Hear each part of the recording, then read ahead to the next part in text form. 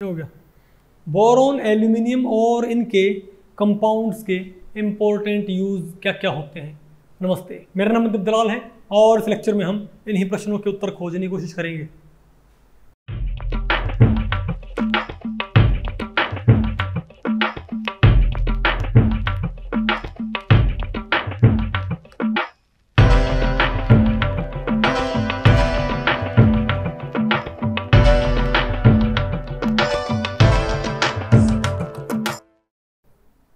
Okay अब बताओ हम क्या पढ़ते हैं भाई? बताओ। Use of boron and aluminium and their compounds अब थोड़ा भाई हम बोरोन एल्यूमिनियम के थोड़े कंपाउंड्स और उनके यूज़ के बारे में और बात कर लेते हैं। बोरोन क्या होता है? ध्यान रखियो, मैं प्योर बोरोन प्योर बोरोन और प्योर एल्यूमिनियम की बात कर रहा हूँ मैं। समझ गए बात? और फिर हम क्या पढ़ेंगे? उनके कंपाउंड्स के यूज़ हालाँकि कंपाउंड्स के मोनोड यूज़ काफ़ी सारे पढ़ लिए हैं। जैसे लिथियम बोरोहाइड्रेट था एल्यूमिनियम बोरोहाइड्रेट होता है। बोलो भाई, नहीं समझे बात? Sorry lithium aluminium hydride lithium aluminium hydride ये ऑर्गेनिक केमिस्ट्री में इस्तेमाल होते हैं। ठीक है, खैर छोड़ो।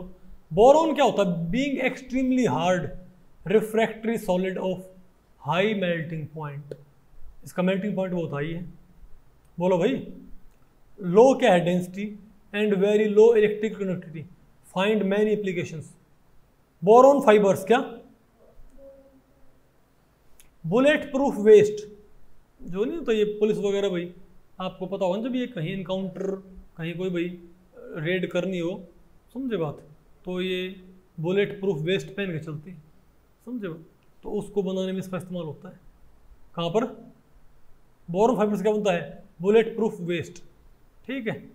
And light composite material for aircraft अब एयरक्राफ्ट अगर भारी होंगे तो जितना यात्रियों को या सामान को उड़ाने में जितना तेल लगेगा, उससे ज़्यादा तेल कहाँ लग जाएगा? उस जहाज़ को खुद उड़ाने में। आपको पहले पड़ी? तो वहाँ पर काफ़ी सारे कंपोनेंट्स किससे बनाने की ट्राई करते हैं? बोरोन फाइबर से भाई। मतलब लाइट कंपोज मटेरियल्स जो हल्के हों और मज़बूत हों। आगे आपको ये?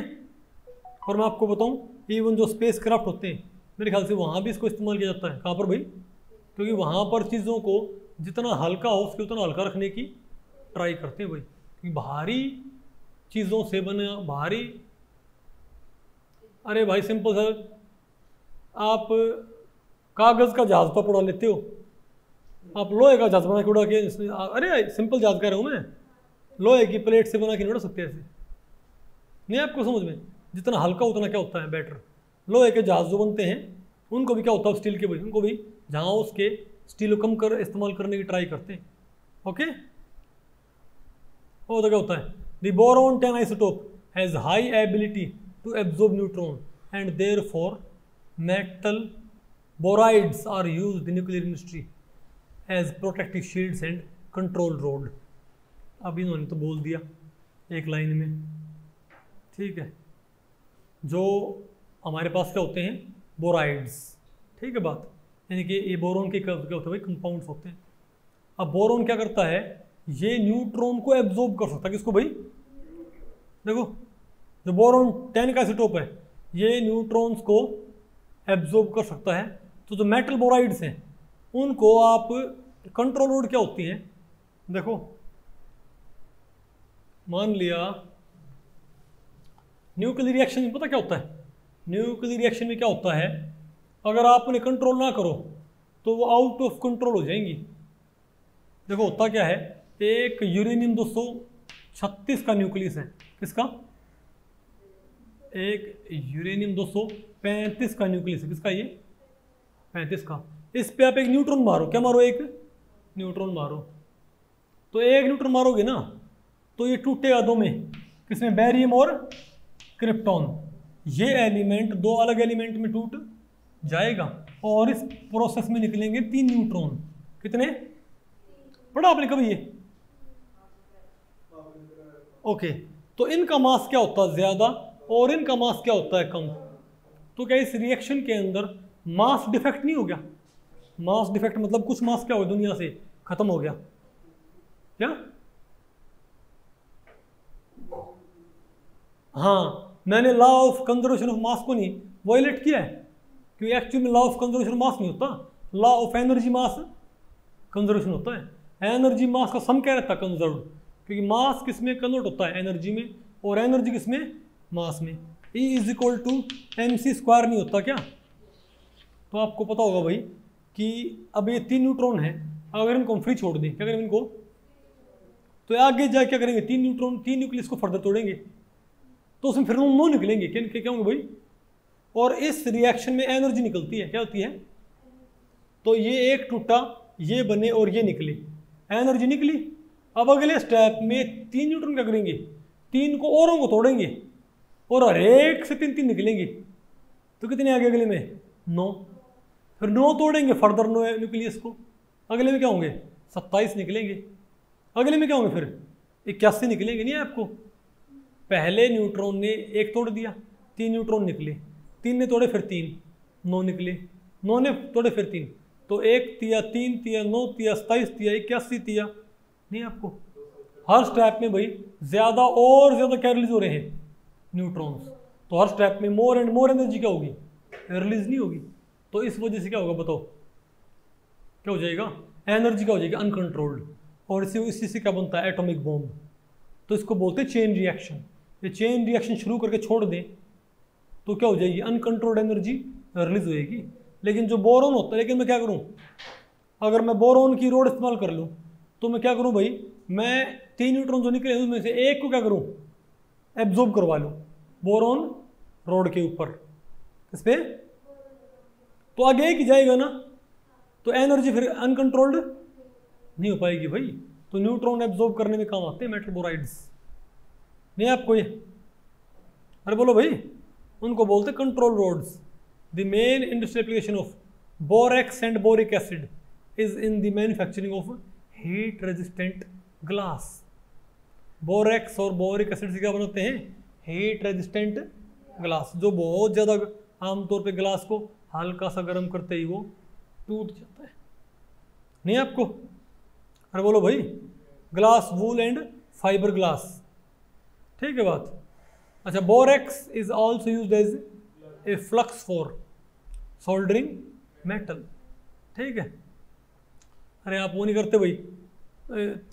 इलेक्ट्रॉनिक्स का सामान लेके आप सोल्डरिंग टक्के लगाते हो, नहीं पता आपको। भाई बॉयज़ को तो काम इतना पसंद होता है। इलेक्ट्रॉनिक गैजेट संवारना, ठीक करना रिपेयर करना। नहीं पता आपको, नहीं आपके उसमें मशीन ये।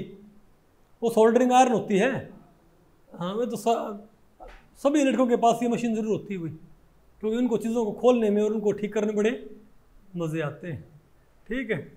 नहीं भी आपने, आपके पास है? फ्यूचर में पक्का लेके आओगे, क्योंकि फ्यूचर में आपके पास गैजेट्स इकट्ठे होते चले जाएँगे। लैपटॉप है भाई को और इलेक्ट्रॉनिक गैजेट है, उनको ठीक करने फिर आपको खुद मज़े आते हैं सुनकर ठीक है? फिर छोड़ो, आगे आपको ये बताओ बताओ भाई। आगे आपको ये soldering metals for heat scratch and strain resistant glazed coating of बोलो भाई earthenwares and as a constituent of medicinal soap medicinal नहीं, अरे भैया मेडिकेयर तो नहीं कहूँगा मैं। बताओ भाई मेडिकेयर क्या काम होता है? जुओं में ना, एक खास बात है, जो लड़की ये जुओं वाली साबुन लेती मिल जाए ना बाकी लड़के उसके पास बैठना बंद कर देती है। पता आपको इस चीज़ का? और उसको सब के बारे में बता देंगे कि इसके पास ना बैठी हो, इसको सर में चूहे हैं। ऐसे बोलते हैं ना भाई। उसको बिल्कुल नहीं देते थे भाई। उसको बिल्कुल उसका बहिष्कार सा कर देते हैं। ठीक है? या ऐसा ही बहिष्कार, जैसे कई पॉलिटिकल पार्टीज़ अपने सीनियर्स का बहिष्कार कर देते हैं। ओके रहने दो भाई। अब मैं पॉलिटिकल जोक्स नहीं मारूँगा यहाँ पर। आगे आपको ये समझ में? अरे बोलो। ठीक है। An aqueous solution of orthoboric acid is generally use as mild antiseptic boric acid का हल्का सा सॉल्यूशन कहाँ इस्तेमाल आएगा?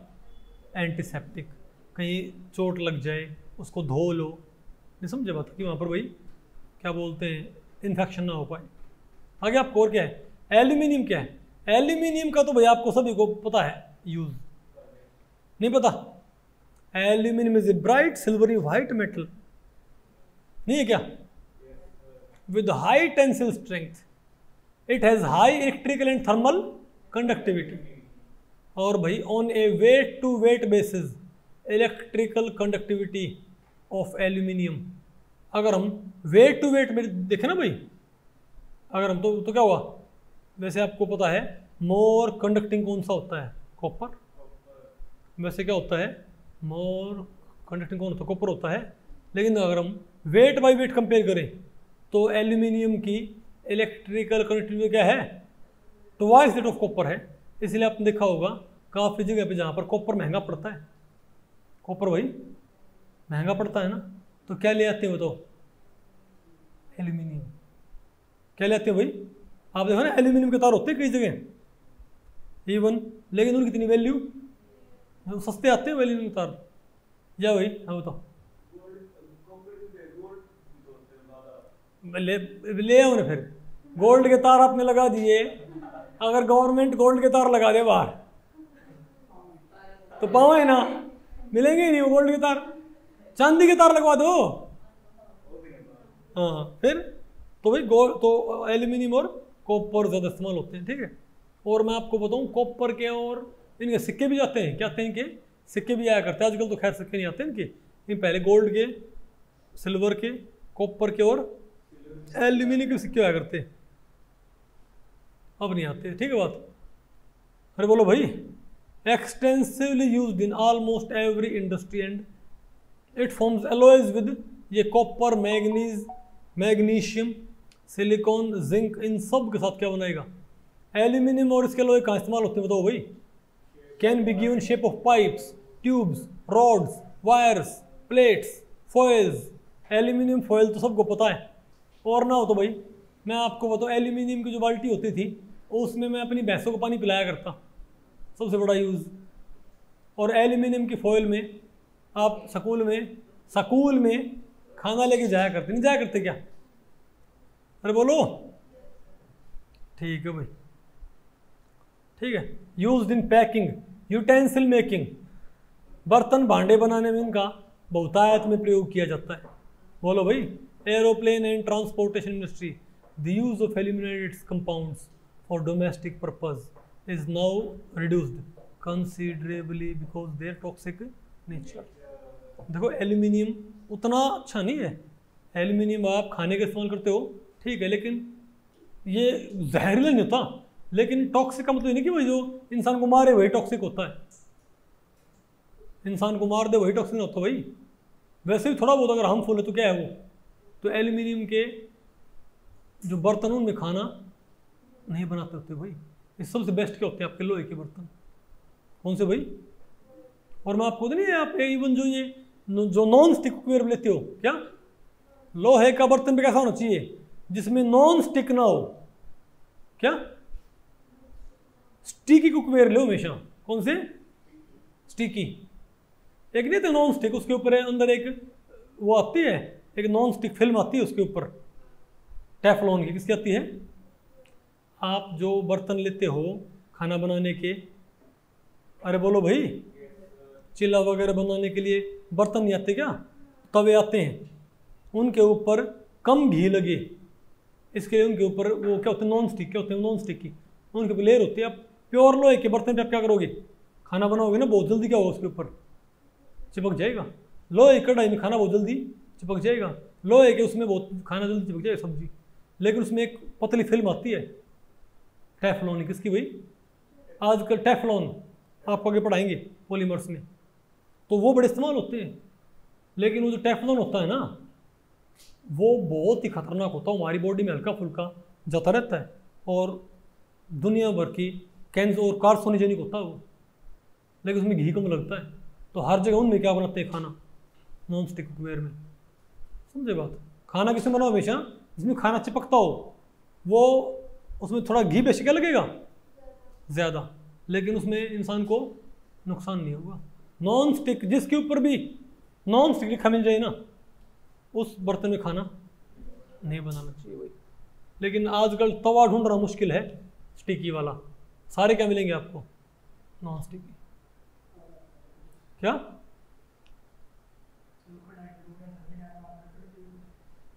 रगट दो तो? ना आजकल में जाते है कोई दिक्कत नहीं है।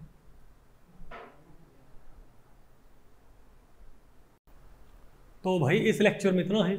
अगर इस लेक्चर के बारे में आपके कुछ प्रश्न या सुझाव हैं तो आप मुझे नीचे कमेंट सेक्शन में पूछ सकते हैं। मैं उनके उत्तर देने की पूरी पूरी कोशिश करूँगा। तो भी ठीक है मिलते हैं अगले लेक्चर में तब तक के लिए नमस्ते।